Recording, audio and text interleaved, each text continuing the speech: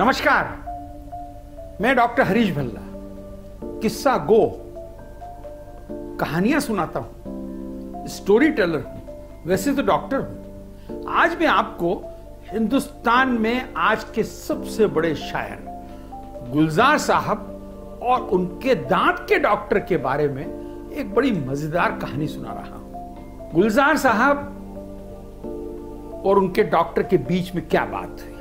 Doctor साहब गुलजार ने कहा, दो दिनों से लेफ़्ट साइड का मोलर बहुत दर्द कर रहा है। रात भर नींद नहीं आई है। डेंटिस्ट ने कहा, महसूस तो होता ही होगा, कुछ दर्द। धड़कन के आगोश में लिपटी इस सहमे हुए यूकेलिप्टिस के पत्तों की दो बूंद यूँ ही दांत पर डाल देते गुलजार साहब बोले वो छोड़ दीजिए। दर्द बहुत हो रहा है। जरा कुछ कीजिए। डेंटिस्ट ने कहा, दांतों तले रुई के ख्वाब में रात की स्याही सी वो दवा दांतों के साथ बातें करके किसी पुराने नुस्खे की तरह आपको कंबल सी ठंडाई देती है। गुलजार साहब बोले, डॉक्टर, आप समझते क्यों नहीं हैं? कि अंदर कितना दर्द हो रहा है। कृपया कुछ करके दीजिए। दांत के डॉक्टर बोले, उनका मुँह खोलकर बोले और कहा, हाँ, कुछ अटके हुए अल्फाज हैं। दो दांतों के बीच बहुत पुरानी कहावतों की तरह गूंजती काली, कंबल सी समेटी बुझी रात की गवाही दे रही है। गुलजार साहब बोले, डॉक्टर, जो कुछ है, उसको निकालो जल्दी। दर्द सहा नहीं जा रहा। प्लीज़।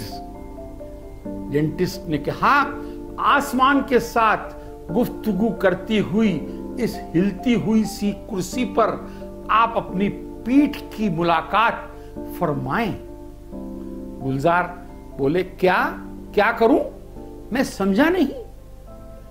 दांत के डॉक्टर ने कहा यह सुई आपके इस आ रहे दर्द को गुमनामी के आगोश में लुप्त कराएगी। इन अटके अल्फाजों को एक बादल की कलम से लिखे हुए आंधी की तरह नशे मन तक ले जाएगी। इसी उजड़े हुए शहर की खाक से जब आप जागेंगे, तब आपको एक बेदखल दांत दो लाइनों का इंतज़ार करते हुए इस ट्रे में पड़ा मिलेगा।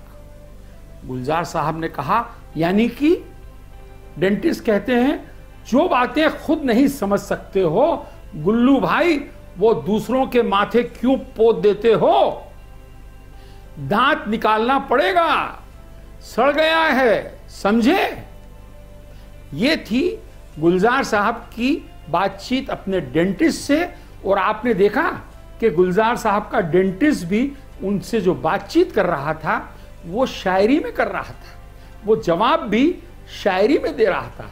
तो शायरों के, कलाकारों के जो डॉक्टर होते हैं, वो भी शायर और कलाकार हो जाते हैं। है ना मज़ेदार बात? नमस्कार।